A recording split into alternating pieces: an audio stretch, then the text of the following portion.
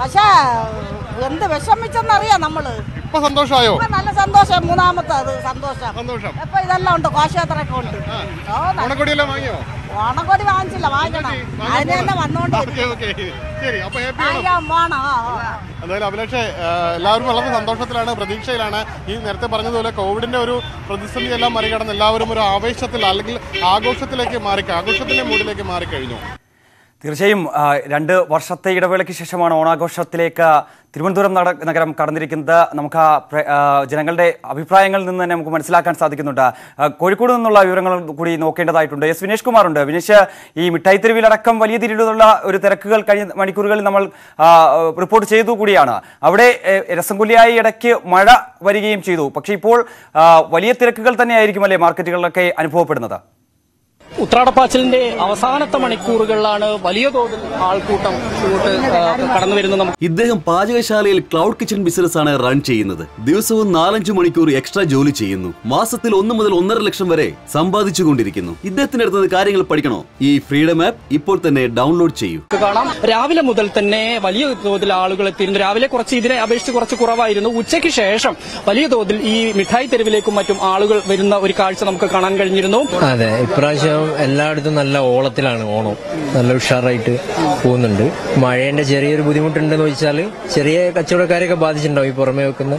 അല്ലാതെ ബാക്കിയുള്ളവർക്ക് സാധാരണ രീതിയിൽ. അങ്ങനെ തന്നെ അടിപൊളി തന്നെ ഓക്കെ ഇപ്പൊ കോവിഡ് കഴിഞ്ഞുള്ള ഫസ്റ്റ് ഓണം വരുന്നത് ഓക്കെ അങ്ങനെ പ്രശ്നമില്ല. കച്ചവടം അങ്ങനെ പോകുന്നുണ്ട് തോന്നുന്നു ഇങ്ങനെ വേറൊന്നുമില്ല. എന്തായാലും എല്ലാവർക്കും നല്ലൊരു ഓണം ആശംസിക്കുന്നു. പിന്നെ ഈ പ്രശ്നം എന്ന് പറഞ്ഞാൽ മഴ മിന്നൽ പ്രളയമാണ് ഇപ്പൊ വരുന്നത് ഇപ്പൊ രാവിലെ ആയാലോ പിന്നെ ഇരട്ട അങ്ങനെ അതിന്റെ അതിന്റെ ഒരു പ്രശ്നം ഉണ്ടാവില്ല. അഭിലാഷ് മഴ പിന്നെ അഭിലാഷ് പറഞ്ഞ പോലെ തന്നെ ഒരു പ്രതികൂല കാലാവസ്ഥയാണ്. ഉച്ച മുതൽ തന്നെ നല്ല മഴ അനുഭവപ്പെട്ടിരുന്നു. ഇപ്പൊ അല്പസമയം മുമ്പാണ് മഴയ്ക്ക് ചെറിയൊരു ശമനമുണ്ടായത്. എങ്കിൽ പോലും ആ മഴയെല്ലാം തന്നെ അവഗണിച്ചുകൊണ്ട് ആളുകൾ ഈ മാർക്കറ്റിലേക്ക് എത്തുന്ന ഒരു കാഴ്ച ഈ എസ് എം സ്ട്രീറ്റിലേക്ക് എത്തുന്ന ഒരു കാഴ്ച നമുക്ക് കാണാൻ കഴിയുന്നുണ്ട്. കഴിഞ്ഞ കാലങ്ങളിലെല്ലാം നമുക്കറിയാം ഓണക്കാലം പൊതുവെ മഴയുണ്ടാകുന്ന കാലമാണ്. എങ്കിൽ പോലും ഈ ഒരു കോവിഡിന് ശേഷം ഇത്രയും ആളുകൾ ഇത്രയും ആളുകൾ തള്ളിക്കയറുന്നത് ഇത് ഇപ്പോഴാണ്. കാരണം കഴിഞ്ഞ കാലങ്ങളിലെല്ലാം തന്നെ ഇവിടെ പല കടകളും അടച്ചിടുകയും കർശനമായ നിയന്ത്രണങ്ങളുടെ അടിസ്ഥാനത്തിലാണ് കടകളെല്ലാം തുറക്കേണ്ട ഒരു അവസ്ഥയൊക്കെ ഉണ്ടായിരുന്നത്. അതെല്ലാം തന്നെ മാറിയിട്ടുണ്ട്. തീർച്ചയായും കോഴിക്കോടും സമാന സാഹചര്യം തന്നെയാണുള്ളത്. ഇടയ്ക്ക് ചെറിയ രീതിയിലുള്ള മഴ രസംകുലിയായി എത്തിയെങ്കിൽ പോലും തന്നെ അതൊക്കെ അവഗണിച്ചുകൊണ്ട് ഓണത്തെ വരവേൽക്കാനുള്ള ഒരു ആവേശത്തിലൂടെയാണ് ജനങ്ങൾ കടന്നു പോകുന്നത്. അത്തരത്തിൽ വലിയ രീതിയിലുള്ള തിരക്ക് തന്നെയാണ് മിഠായി തെരുവിലടക്കം അനുഭവപ്പെടുന്നത്. വിവരങ്ങൾ നൽകിയത് വിനേഷ് കുമാർ. ഇനി കൊച്ചിയിലെ റിപ്പോർട്ട് കൂടി നമുക്ക് പരിശോധിക്കേണ്ടതായിട്ടുണ്ട്. ഡാനി പോളുണ്ട് ഡാനി വലിയ ആവേശത്തിൽ തന്നെയാണ് ജനങ്ങൾ. കാരണം രണ്ട് വർഷത്തെ ഈ കോവിഡ് പ്രതിസന്ധികൾക്ക് ശേഷമാണ് ഓണാഘോഷം എത്തുന്നത്. അങ്ങനെയുള്ളപ്പോൾ കൊച്ചിയിൽ നിന്നുള്ള വിവരങ്ങൾ എന്തൊക്കെയാണ്? ഉത്രാടപ്പാച്ചിലിന്റെ ഒരു അവസാന മണിക്കൂറുകളിലേക്ക് കടക്കുമ്പോൾ വലിയ ആഘോഷത്തോടുകൂടി തന്നെയാണ് തെരുവിലുള്ളത്. ഈ ഉത്രാടപ്പാച്ചിലിനെ തിരുവോണത്തെ ആഘോഷമാക്കിക്കൊണ്ട് തന്നെയാണ് ഈ വ്യാപാര മേഖല അടക്കം മൊത്തം കടന്നു പോകുന്നത് കഴിഞ്ഞ വർഷങ്ങളിൽ ഉണ്ടായിരുന്ന ഒരു തിരിച്ച തിരിച്ചടി. കോവിഡ് മൂലം പല സാഹചര്യങ്ങൾ മൂലം ഉണ്ടായിരുന്ന ഒരു തിരിച്ചടി. അത് ഇക്കുറി അത് ഇല്ലാതാകും. ഇക്കുറി അത് മാറും എന്നുള്ള വലിയ പ്രതീക്ഷ. അത് ആ പ്രതീക്ഷകളൊന്നും തെറ്റിയിട്ടില്ല. വലിയ തിരക്ക് സൂചിപ്പിക്കുന്നതും അത് തന്നെയാണ്. അതുകൊണ്ട് വിപണന മേളകളിലുള്ളവർ വേ- വസ്ത്ര വ്യാപാര രംഗത്ത് ഇവരെല്ലാം തന്നെ വളരെ ആഘോഷത്തോടു കൂടിയാണ് എതിരേൽക്കുന്നത്. എങ്ങനെയുണ്ട് തിരക്ക്? തിരക്കൊക്കെ ഉണ്ട് പക്ഷെ മഴ ഭയങ്കര പ്രശ്നം തന്നെയാണ് കഴിഞ്ഞ പ്രാവശ്യത്തെ അത്ര കച്ചവടം കുറവാണ്. ആ. കഴിഞ്ഞ പ്രാവശ്യം കൊറോണ ആണെങ്കിൽ പോലും കുറച്ചും കൂടി മെച്ചമുണ്ടായിരുന്നു. ഈ ഓൺലൈൻ ബിസിനസ് ഒക്കെ കയറിയതിന്റെ ഭയങ്കര ക്ഷീണം ഫുട്പാത്തിൽ തന്നെ സംഭവിച്ചിട്ടുണ്ട് എങ്കിലും ആളുകൾ കൂടുന്നതിന്റെ ഒരു സന്തോഷം അതിന്റെ ഒരു ഹാപ്പി ഹാപ്പി ഓണം എന്നൊക്കെ പറഞ്ഞ പോലെ തന്നെ ഒരു ആഘോഷം തന്നെ. കച്ചവടം കുറവാണെങ്കിലും അതൊരു ആഘോഷത്തിൽ തന്നെ ചെയ്യുക. അതാണ് ഉദ്ദേശം. കൂടുതൽ ആളുകൾ വഴിയിലേക്ക് എത്തുന്നതിന്റെ വലിയ ആഘോഷങ്ങൾ തന്നെയാണ്. കാരണം കാണാൻ പറ്റും ഓണമുണ്ടെന്ന് നിർബന്ധമുള്ള ഒരു മലയാളിയുടെ ആഘോഷം കൂടിയാണ് വാങ്ങിച്ചോ? എന്നിട്ട്? ഷോപ്പിങ്ങിന് വന്നതാ. ഓണമല്ലേ നാളെ? മാവേലി വരുമ്പോ പറഞ്ഞു വിടണ്ടേ? അപ്പൊ അതിനുള്ള തയ്യാറെടുപ്പിൽ വന്നതാ മാർക്കറ്റ് ഡ്രസ്സൊക്കെ എടുത്തു. പിന്നെ വീട്ടിലെ ഐറ്റംസ് ഒക്കെ എല്ലാം എടുത്ത്. അടുക്കളയിലെ ഐറ്റംസ് എല്ലാം എടുത്ത്. നാളെ ചാപ്പാട് അടിക്കണം. അത്ര എന്ന കാര്യം. സന്തോഷമാണ് നല്ല ഹാപ്പി ഓണമല്ലേ നമ്മുടെ? പിന്നെ? മലയാളിയുടെ വലിയ ആഘോഷത്തിന്റെ ആ ദിവസങ്ങൾ അതിനെ മുഴുവൻ ചാരുതയോടുകൂടി തന്നെ എതിരേൽക്കാൻ ഓരോ മലയാളിയും തന്നെ തയ്യാറെടുക്കുന്നു. അതിന്റെ മുഴുവൻ ആഘോഷങ്ങളും നമുക്ക് ആ തെരുവുകളിലേക്ക് എത്തുമ്പോൾ കാണാൻ കഴിയും. എല്ലായിടവും തന്നെ നേരത്തെ രാവിലെ മുതൽ തന്നെ പച്ചക്കറി വിപണന മേളകളിലെല്ലാം തന്നെ വലിയ തിരക്ക് എല്ലാം തന്നെ അനുഭവപ്പെട്ടു. പിന്നീട് പൂക്കച്ചവട വിപണിയിലേക്ക് വരുമ്പോഴും പൂ അതിന്റെ ഒരു അവസ വലിയ വില എന്നൊക്കെ എല്ലാം തന്നെ പരാതി പറയുമ്പോൾ പോലും കൂടുതൽ പേർ അതെല്ലാം വാങ്ങാനെത്തുന്നു. ആ വീട്ടുമുറ്റങ്ങൾ നാളെ അലങ്കരിക്കാനുള്ള നാളെ തിരുവോണമാണ്. അതിന്റെ ഒരു ആഘോഷത്തിലേക്ക് വീട്ടുമുറ്റമടക്കം മാറ്റുവാനുള്ള ഒരു തയ്യാറെടുപ്പ്. ഒപ്പം തന്നെയും പുതുവസ്ത്രങ്ങളുമായിട്ട് തിരുവോണത്തെ എതിരേൽക്കുക അതിന്റെ ഒരു തിരക്ക് കൂടിയാണ് അവസാനവട്ട ഉത്രാടപ്പാച്ചിന്റെ മണിക്കൂറുകളിലേക്ക് എത്തുമ്പോൾ. തീർച്ചയായും ഓണത്തെ വരവേൽക്കാൻ മലയാളികൾ ഒരുങ്ങിക്കഴിഞ്ഞിരിക്കുന്നു. ഈ വ്യാപാരികളുടെ മറുപടികളിൽ നിന്നൊക്കെ നമുക്ക് പ്രകടമാകുന്നുണ്ട്. അവരുടെ ഒരു സന്തോഷം. രണ്ടു വർഷമായി ഓണമില്ലാതിരുന്ന ഒരു സാഹചര്യം ഉണ്ടായിരുന്നു. വിവിധ വിവരങ്ങളിൽ നിന്ന് ഞങ്ങളുടെ പ്രതിനിധികൾ അവിടുത്തെ തത്സമയ വിവരങ്ങളാണ് പങ്കുവച്ചത്. മറ്റ് വാർത്തകൾ കൂടി നോക്കേണ്ടതായിട്ടുണ്ട്. മഴയിൽ കുതിർന്ന ഇടുക്കിയിലെ ഉത്രാടപ്പാച്ചിൽ. ഉച്ചയ്ക്ക് ശേഷം ശക്തമായ മഴയാണ് ജില്ലയിൽ പെയ്തത്. കാലങ്ങളുടെ കാത്തിരിപ്പിന് ശേഷം ഓണക്കാലത്തിൽ പ്രതീക്ഷയർപ്പിച്ച വ്യാപാരികൾക്കും ഉത്രാടം നാളിലെ പെയ്തിറങ്ങിയ മഴ പ്രതികൂലമായി ബാധിച്ചു. എന്നാൽ പ്രതികൂല കാലാവസ്ഥയിലും കുടചൂടി ഉത്രാടപ്പാച്ചിലിനെത്തിയവരും നിരവധിയാണ്. പ്രതികൂല സാഹചര്യങ്ങളെല്ലാം അതിജീവിച്ച് വീണ്ടും ഓണക്കാലത്തെ വരവേൽക്കാൻ ഉത്രാടനാളിൽ ഉച്ചയ്ക്ക് ശേഷം പെയ്തിറങ്ങിയ മഴ ഇടുക്കിയെ പ്രതികൂലമായി ബാധിച്ചു. പകൽ സമയത്ത് വ്യാപാര സ്ഥാപനങ്ങളിലടക്കം തിരക്ക് അനുഭവപ്പെട്ടെങ്കിലും മഴ തുടങ്ങിയതോടെ തിരക്കൊഴിഞ്ഞു.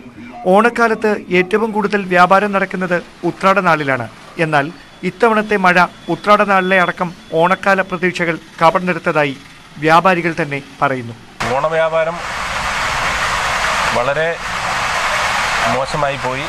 ഉത്രാടത്തിൽ നിന്ന് നല്ല വ്യാപാരം നടക്കേണ്ട ഈ സമയത്ത് ഈ മഴ ആ ഓണത്തിന്റെ കച്ചവടത്തെ കവർന്നിരിക്കുകയാണ് എല്ലാവരും വളരെ പ്രതീക്ഷയിലായിരുന്നു വ്യാപാരികൾ ആ പ്രതീക്ഷകളെല്ലാം മഴ തകർത്തു.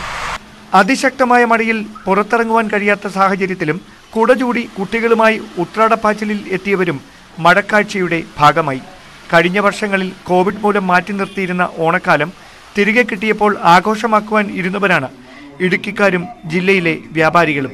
വരും ദിവസങ്ങളിലും മഴ തുടർന്നാൽ ഏറെ പ്രതീക്ഷയുള്ള വിനോദസഞ്ചാര മേഖലയ്ക്ക് ഉൾപ്പെടെ തിരിച്ചടിയായി മാറുമെന്നും വ്യാപാരികൾ പറയുന്നു. News Eighteen Idukki.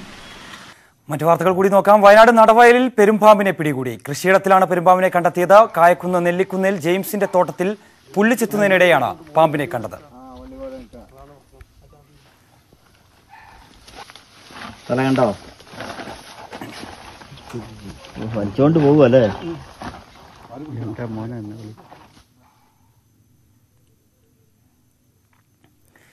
കോടഞ്ചേരിയിൽ തെലങ്കാന സംഘം മൂന്ന് ദിവസത്തിനിടെ പത്ത് കാട്ടുപന്നികളെ വെടിവെച്ചു കൊന്നു.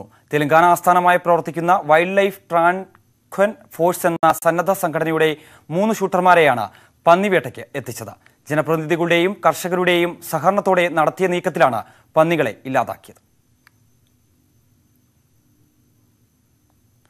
തെരുവ് നായ്ക്കളെ നേരിടാൻ സമഗ്ര പദ്ധതിയുമായി കോട്ടയം ജില്ല.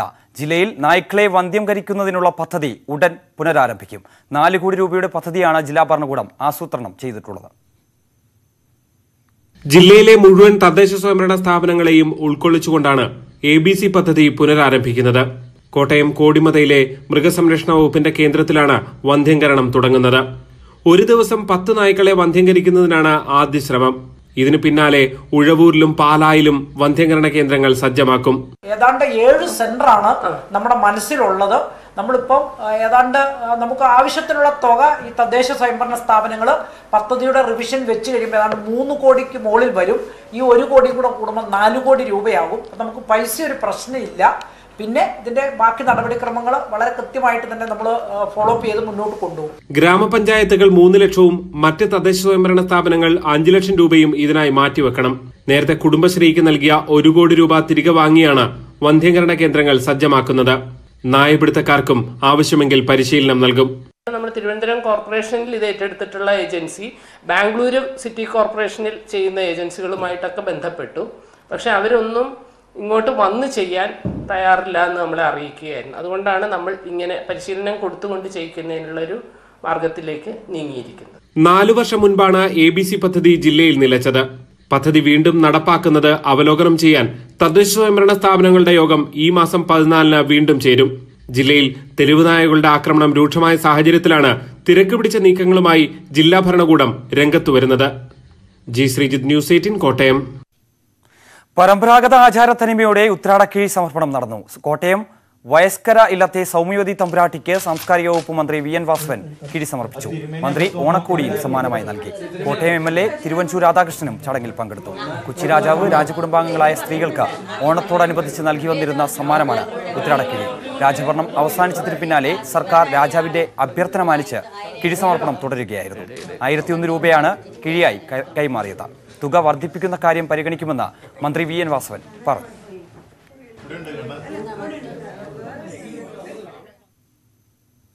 ഗുരുവായൂർ ക്ഷേത്രത്തിൽ ഉത്രാട കാഴ്ചക്കുല സമർപ്പണം നടന്നു. വൻ തിരക്കാണ് അനുഭവപ്പെട്ടത്. രണ്ടു മണി മുതൽ ഭക്തർ വാഴക്കുലകളുമായി ക്ഷേത്രത്തിലെത്തിയിരുന്നു. ശീവേലിക്ക് ശേഷം ഭക്തരെ പ്രവേശിപ്പിച്ചു തുടങ്ങി. ക്ഷേത്രത്തിന്റെ കൊടിമരത്തിനു മുന്നിൽ മേൽശാന്തി ആദ്യ കാഴ്ചക്കുല ഗുരുവായൂരപ്പന് സമർപ്പിച്ചു. പിന്നീട് ദേവസ്വം ഭരണസമിതി അംഗങ്ങളും ഉദ്യോഗസ്ഥരും വിശിഷ്ട വ്യക്തികളും സമർപ്പണം നടത്തി. ഉത്തരാടത്തിന് മനോഹരമായ കാഴ്ചക്കൊലകളും ഇവിടെ ലഭ്യമാണ്. അത് വെക്കുന്നതിന് വേണ്ടിയിട്ടാണ് ഞങ്ങൾ ഗുരുവായൂരപ്പന് സമർപ്പിക്കുന്നതിന് വേണ്ടി ആണ് ഞങ്ങൾ പതിവായി എത്താറുള്ളത് ഇന്നും എത്തിയിരിക്കുന്നത്. സമർപ്പണം നടത്തിയ കാഴ്ചക്കുലകളിൽ നിന്ന് ഒരു പങ്ക് പായസത്തിനും മറ്റൊരു പങ്ക് ആനയൂട്ടിനും ബാക്കി ഭക്തർക്കും ലേലം ചെയ്ത് നൽകും. എല്ലാ വർഷവും ഭക്തിപൂർവം ഭഗവാന് ഉത്രാട കാഴ്ചക്കുല സമർപ്പിക്കാറുള്ളതാണ്. ഈ വർഷവും അത് സാധിച്ചതിൽ മഹാഭാഗ്യം. കഴിഞ്ഞ വർഷം കോവിഡ് കാരണം നടന്നില്ല അതിന്റെ വിഷമമുണ്ട്. പക്ഷേ ഈ വർഷം ഭഗവാൻ അതിന് മഹാഭാഗ്യം തന്നത് സന്തോഷം. ഉത്രാട ദിനത്തോടനുബന്ധിച്ച് പ്രത്യേക പൂജകൾ നടന്നു. ക്ഷേത്രകുളത്തിന് സമീപം ആനയൂട്ടും നടന്നു. News Eighteen Guruvayur. നാട്ടുവർത്തമാനം പൂർണമാകുന്നു. നമസ്കാരം.